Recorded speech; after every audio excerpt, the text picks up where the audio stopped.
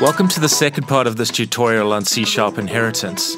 If you haven't seen the first part of this two-part video series on C-sharp inheritance, please view the first part before watching this video. A link to the first part of this tutorial on C-sharp inheritance can be found below in the description. So let's say there is a requirement that an import tax be deducted from the value of desks when calculating the total value of desks in stock. So to address this new requirement, let's add a public property to the desk class. Let's name this property import tax percentage. So this new requirement means we need to implement custom code for the desk class for when calculating the total value of desks in stock. So to achieve this, we need to override the getTotalValueInStock method. Notice that the getTotalValueInStock method is not included in the IntelliSense drop-down list. So this means we need to include the virtual keyword in the getTotalValueInStock method's method definition in the product base class. We can now override the functionality that is implemented in the product base class in our derived desk class. So we can now see the getTotalValueInStock method in the IntelliSense dropdown list. So let's select the getTotalValueInStock method from the IntelliSense drop-down list. And you can see that Visual Studio generates default code for us. This code includes a call to the base class's getTotalValueInStock method. So note, the base keyword allows us to access accessible members in the base class. So we are going to use the base keyword in this method to call the getTotalValueInStock method in the base class to return the total value of stock for desks. So in order to address the new requirement, we must add the specialized code in the desk-derived class's getTotalValueInStock method to deduct the import tax from the total value of the desk items in stock to get the net stock value for the desks we currently have in stock. Then let's implement code to return this calculated decimal value from the customized getTotalValueInStock method. Let's implement code in the main method to include the functionality we have just implemented. So in order to access the import tax percentage property, we need to cast the desk object to a desk type because we are declaring the desk object in our code as the product type. Let's then set the property value for the import tax percentage property to 2 and let's run the code.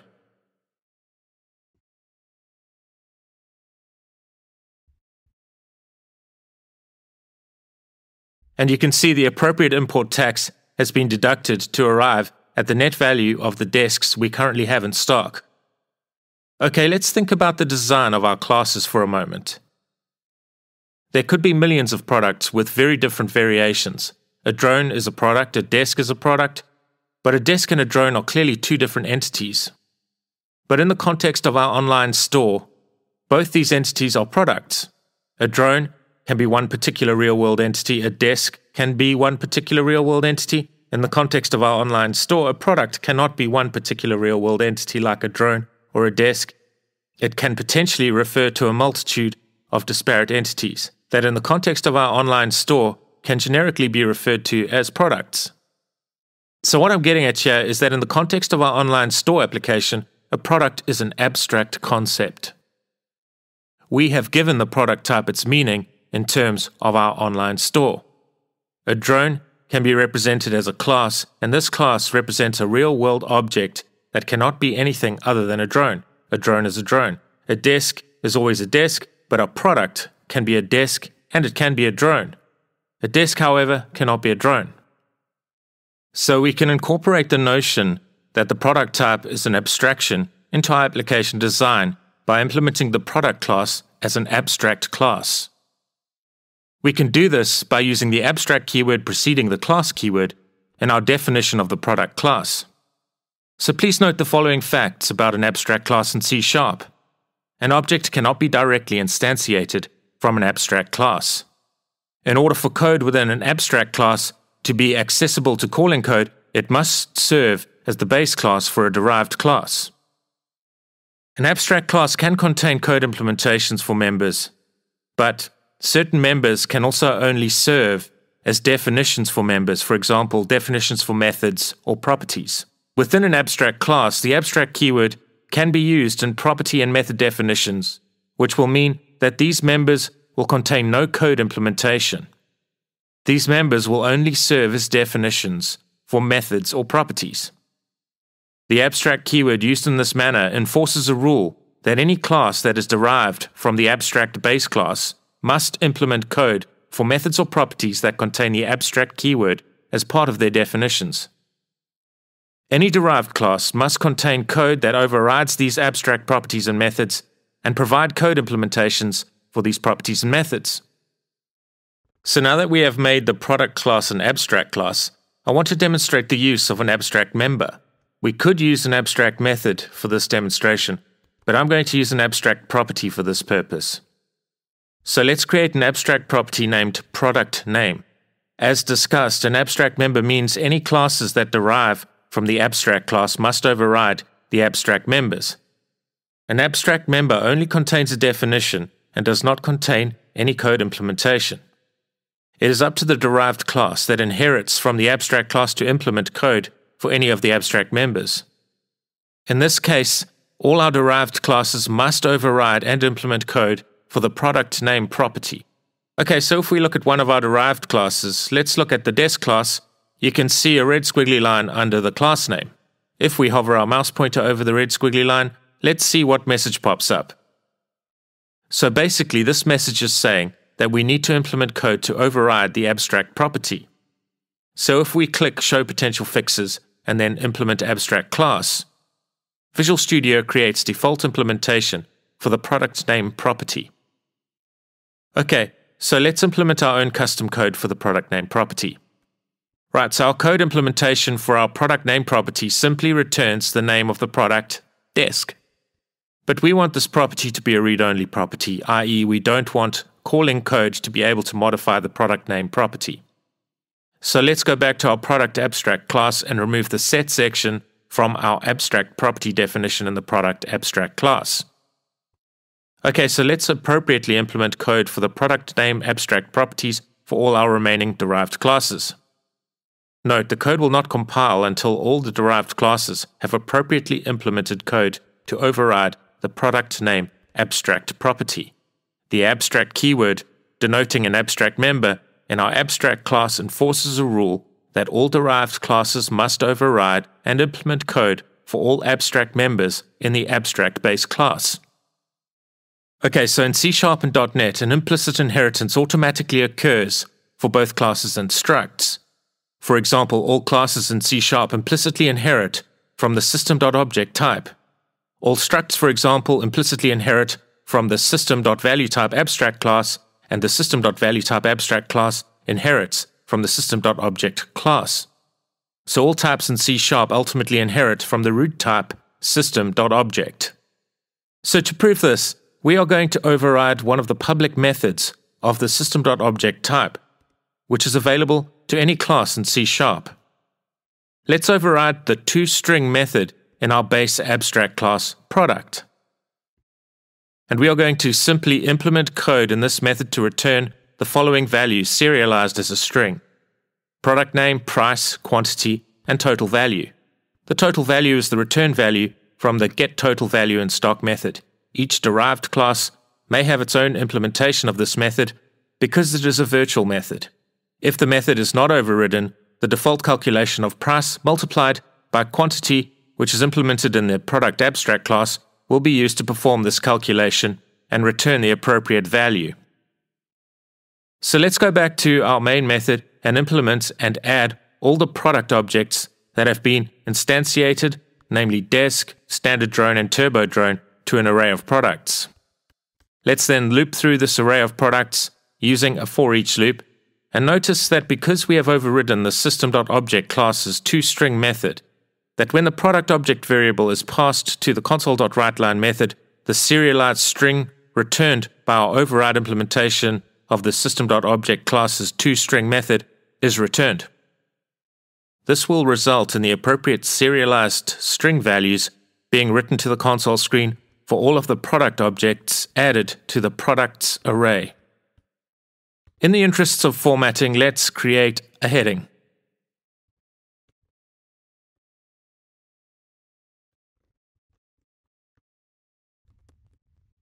Okay, let's test this code.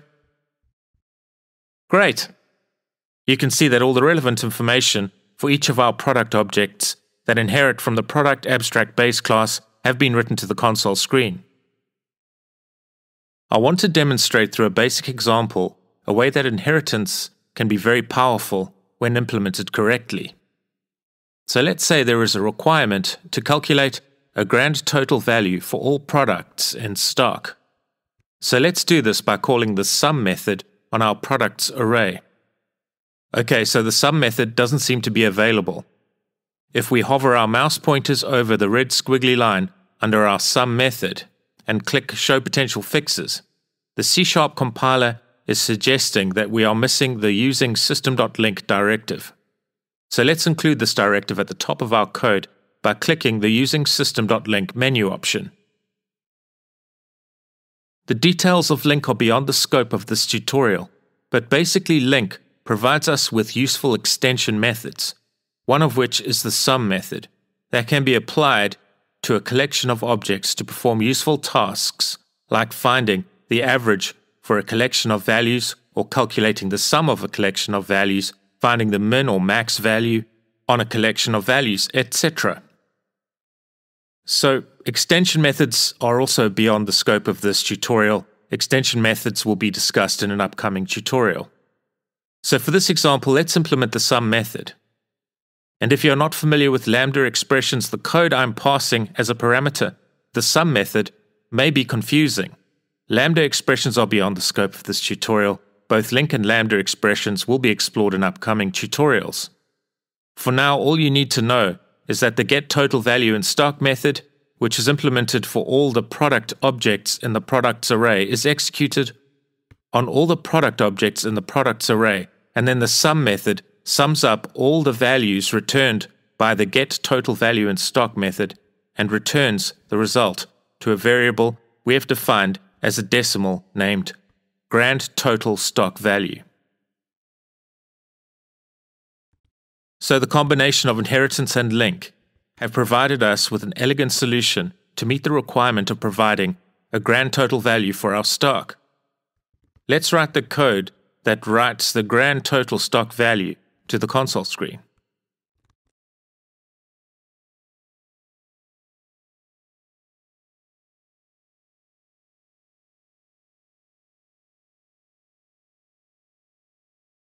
Right, let's run the code.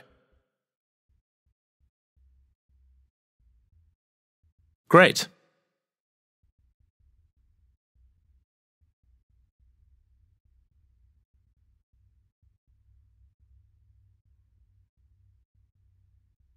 So finally, in the previous tutorial on C-sharp classes, we used an array list instead of an array to store a collection of employee objects. The advantage of using an array list is that the developer doesn't need to declare the number of items that will be stored in the collection when declaring the ArrayList object, the ArrayList can grow dynamically.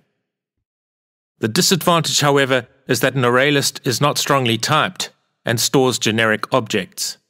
This means that when an item of a specific type is retrieved from an ArrayList, that the item must be cast appropriately. So we can get both the strongly typing functionality provided in an array and the dynamic growth functionality provided to us by an ArrayList by using a generic list collection. Details of generic collections are beyond the scope of this tutorial and will be discussed in an upcoming tutorial, but here's a brief introduction to the generic list type in C Sharp. So to use a generic list in our code, we must include a directive using system.collections.generic at the top of our code editor. We can then replace the products array we are currently using to store a collection of product objects with a generic list. So here we are strongly typing our products list by including the product type within greater than and less than symbols like this. Details of C-sharp generics is beyond the scope of this tutorial and will be the focus of an upcoming tutorial. By doing this, we are able to dynamically add any number of product objects to our products list. When we retrieve an item from the products list, we do not have to include casting code because all items in the list have been strongly typed as the product type.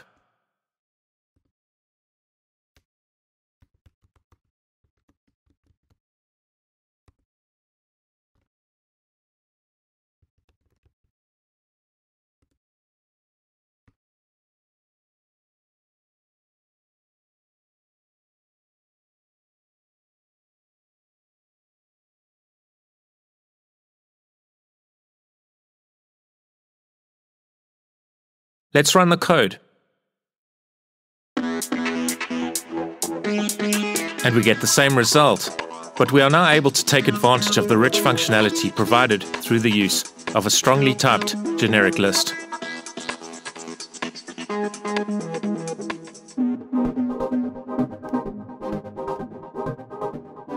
We discussed that inheritance is when a derived class inherits from a base class, and that base class members can therefore be reused across one or more derived classes that inherit from the base class.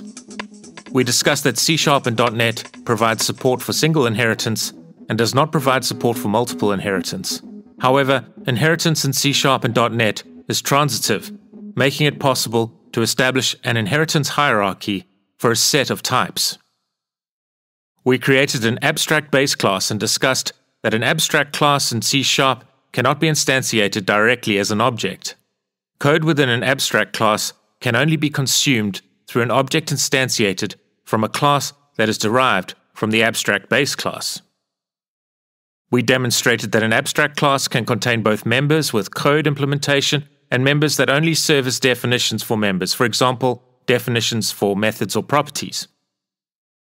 We demonstrated how a member, for example, method or property, marked with the abstract keyword must be overridden and subsequently implemented with code in any class that inherits from the abstract base class. We demonstrated that the virtual keyword applied to a member within a base class means that a derived class can override the base class member. However, this is not mandatory, as is the case when a base class's member is marked with the abstract keyword. We demonstrated how all classes in C Sharp implicitly inherit from the system.object class.